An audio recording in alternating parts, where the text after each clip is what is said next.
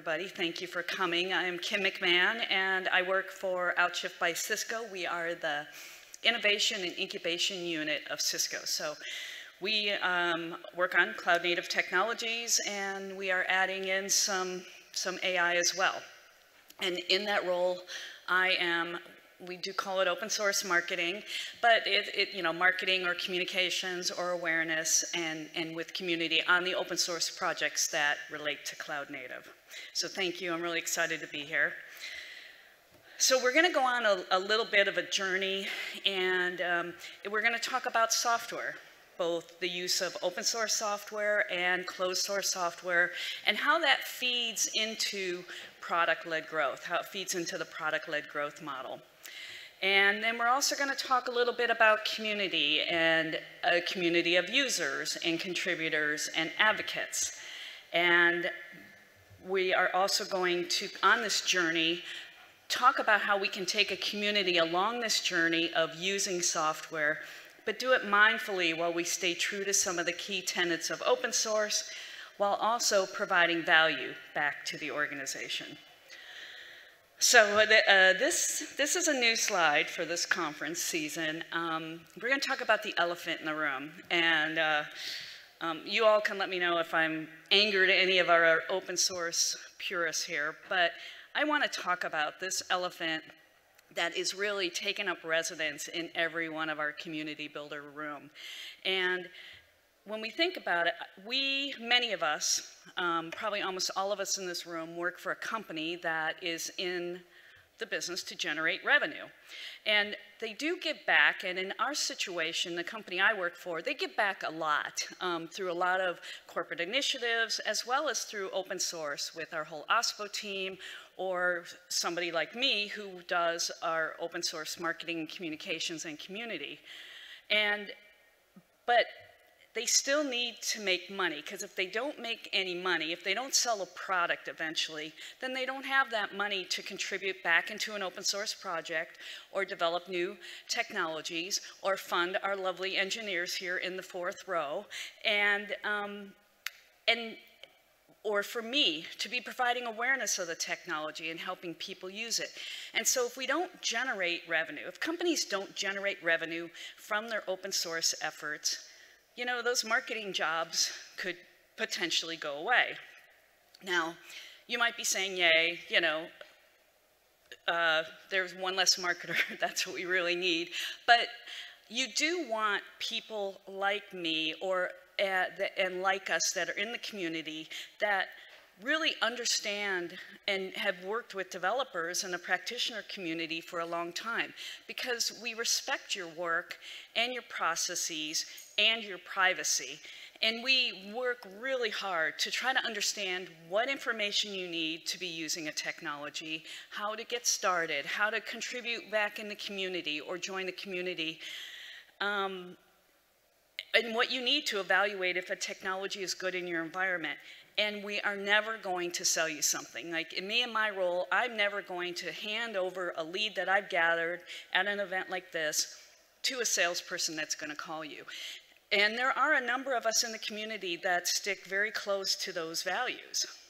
And that's when you, when you think about that my whole role is to get the technology in your hands, that's what product-led growth is in a nutshell, where we're let, letting go of that technology experience, putting that decision for how you're going to use it or what you're going to use in your hands, and it's that end-to-end -end user experience.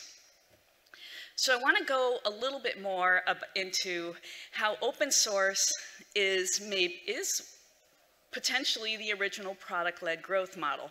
Now, I'm never, I will never, I, I, see the connection, but I, open source was not created to fuel a product-led growth model. I think a product-led growth model, frankly, uh, grew out of seeing how open source works. And that is that open source, using open source software has a set of benefits. You know, our transparency and um, freedom of design and collaboration and bringing like minds together and everything, you know, all those kinds of things.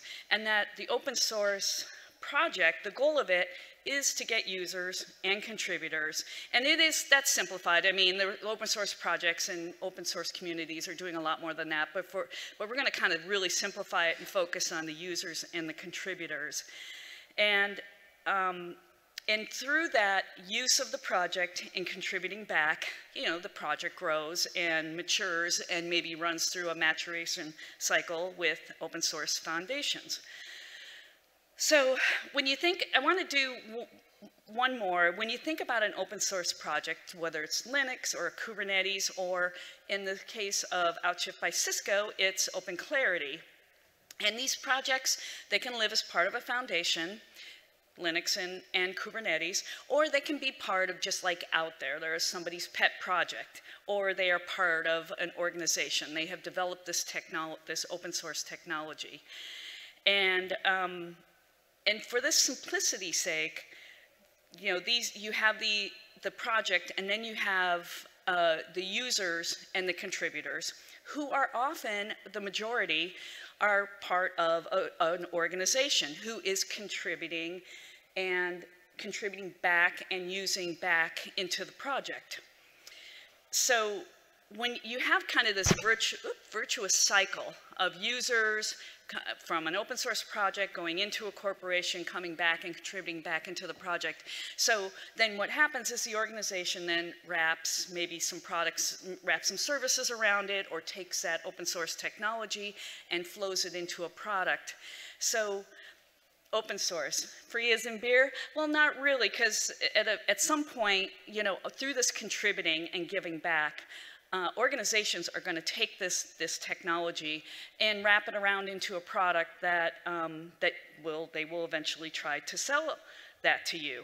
And that's the, the product-led growth flywheel, where you're taking people along that journey of awareness to using to adopting. And we do that through community and marketing efforts, such as events hands-on labs and workshops or going to uh, conferences. Or we do that through digital, such as, you know, talking out on a Twitter space or, you know, through our digital, um, like our, like Slack or through our forums. And all of that is to help you, you know, give, give users the information to adopt the technology, and hopefully they like it and they use it and they become fans. So that, that's kind of how open source and product-led growth kind of fit together. So we're going to continue along this journey, eh, but we're going to do it with integrity and respect. And we're going to do it with openness and transparency. And we're going to do it collaboratively. And we're going to, and innovatively where we're all included and, it, and we're going to be fair and down to earth. And I'm sure many of you have heard these, but these are many of the key tenets of open source. And these are the key tenets that I use, that I recommend that we all use as we are building out our communities. And as a good community manager or a DevRel person, we're here to help you with the technology. Are, are, you good using the open source version? Does that work great in your environment? Super. Did you, you kind of need a little more service or support? Well, we're here then to help you cross over on that journey into, into product product use. And that's what community and DevRel people do. So the first thing that we're going to do as, um, the first thing that we do as community managers is we need to define our why. Like, why do you want to build your community? And there's a number of answers. It could be that you need a platform for customer support. You're trying to go for awareness or brand recognition, bring like people together. And and but and there's nothing wrong with those answers but i get down into like the real like something that has a real effect on our organization such as we're going to build community for recruiting because we we're looking for engineers with a certain skill set or we're going to do our actions are going to be there to gather user feedback or it's going to be you know helping people use the open source project or if let's get rid of that um, Sorry about that. Hey, how about that calendar? Um, or, oh, uh, or driving people into product use, a product via the free trial or, or through the open source use. And and the one thing to know is, is, that we also need to know what our organization is expecting out of these community building efforts. Like what, what are their goals? And the only caveat I have to that is that on, on occasion, you could have leadership come back and, and give you a goal for building your community that really just doesn't make sense and doesn't fit back into your key tenants. And that's where it's your job as a community manager to do that gentle pushback, do a little bit of education, tell them about why that is not good for community, community growth. Because at the end of the day, we need to be in line with what our organization needs as in defining our why, but it can't really, it should not conflict with the greater tenets of good community building. So I have a couple examples that I'm going to show you, and these are based on real companies, although I'm not using any of the companies' names. Um, these are people that I've talked with to gather their use cases.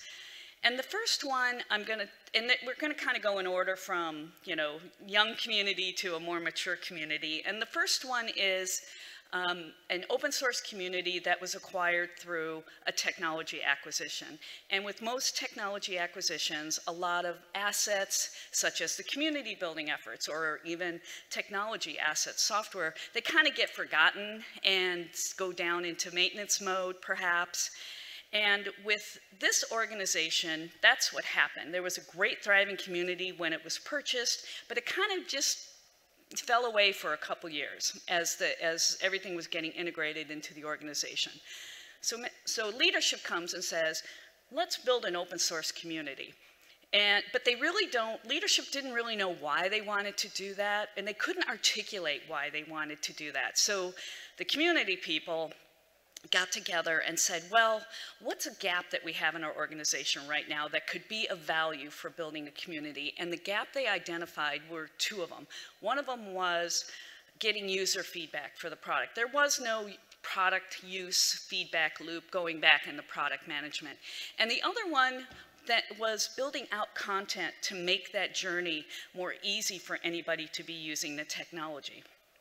Now, their measures were simple number of interviews, putting a playbook for putting the documentation together and producing the documentation, and hopefully through those efforts, they would grow um, their open source projects. So it was super simple, just let's talk to some people, let's get some content, and that's what we're going to measure.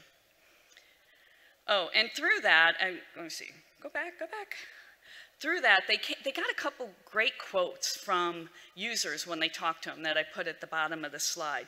And these things are gold to share with your leadership because I can sit there and tell the leadership all day long that quit saying secret sauce because it makes you sound ridiculous. But when a user of your project tells you that, it's in, it, you know, they, it just resonates so much more. They really listen. So that was an exciting thing that they learned out of that experience. So our second example is a is a organization that had an open source project. They had developed it. They had donated it as well to a foundation. Um, they were using it. They were using it heavily in their environment, but it really wasn't gaining any traction in an end user environment. Um, and actually, the project, when you look at that crossing the chasm kind of curve, it hadn't really totally crossed that chasm. So they, they wanted to try to figure out how they could get more product use. And the reasons that, that we were getting that why people were not adopting the technology was, you know, I don't really, you know, is it really going to deliver the benefits? Is it going to break other things when it gets installed in our environment? So they focused uh, their efforts on producing use cases, talking to users, like what was the business problem you were trying to solve? What how did you implement this technology in your environment? And then what benefits did you see, like in terms of availability or uptime or you know, any, any hard, any um, firm metrics that you would want, that you would see in a cloud native environment. So they, they wrote up these case studies they used, they created snackables, they used them in their social, they had a whole communication plan to be sharing about the value of this open source project. And, um, and then put it in presentations and took it on the road to events such as this to talk about the open source project Um, and their measure was simple. It was the number of case studies written it was the number of presentations at events, and it was the number of organizations participating in the feedback. And one of the things that they gave back to organizations who participated in the feedback was access to leadership, access to product management, and access to free trials. So access to the people making the decisions on the technology direction so that they could have their voice heard more clearly and loudly about what they might need in the features if they were to adopt the project. And the third example I have is a company that, I loved. I loved how they called this the adoption-led strategy, which is another, which is very similar to you'll see community-led strategy and you'll see product-led strategy. But theirs was adoption-led strategy, and they had a very strong community already, a number of people using their open source project that was built, um, well, around Kubernetes. And um, their goal was to drive more adoption. But what they were finding is that people were afraid to try their open source project that was wrapping around something like Kubernetes. So they had to, they, they, they discovered that they wanted to do, move from engagement and directly into education. So they were doing hands-on activities at conferences. They were running hands-on labs. They were building out education courses. And the whole goal was to show people how much easier it was to use a Kubernetes when you wrap their open source project around it. So their measures were very simple. Number of courses produced, the number of events and hands-on labs they did, and the numbers of enrollments. And what's really interesting about this organization, and for you non-marketing people out here, we have our top of funnel, right? We're just getting people in the door, getting their names so we can email them with content, to our middle of the funnel, which is when they're starting to really use your technology. And they move down to that middle of the funnel to identify people that were really happy using their open source, open source project so that if they needed those services to be wrapped around it, they could easily, um, easily move into that service model. So none of these, none of these community examples, it was not some grand plan produced to go from nothing to everything. And when, you know, there's a lot of books out there that give you that grand plan to go from nothing to everything. And the point here I have is that you can build community and you can do developer relations efforts on a smaller scale with a smaller team if you think about what your community needs, what your gaps are, and what your organization needs. And, you know, coming back to our elephant here, our revenue elephant, your activity should not be about driving revenue. They should be about enabling your community and your users with your content to be able to make that decision for themselves. And at the end of the day, always, you, you're going to have to align with organizational goals and figure out how you're going to navigate that. That's all I got. I have time for questions.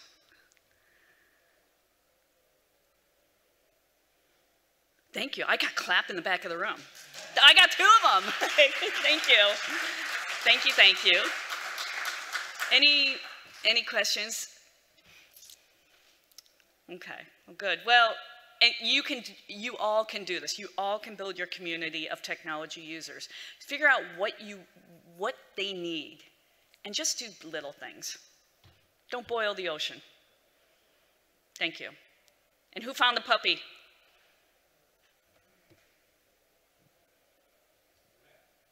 I said I hit a puppy, and I always had a puppy in my presentations. There she is as a baby dog. Anyway, thank you all. Let's see, how do I, there we go. That's how we're gonna do that. Thank you.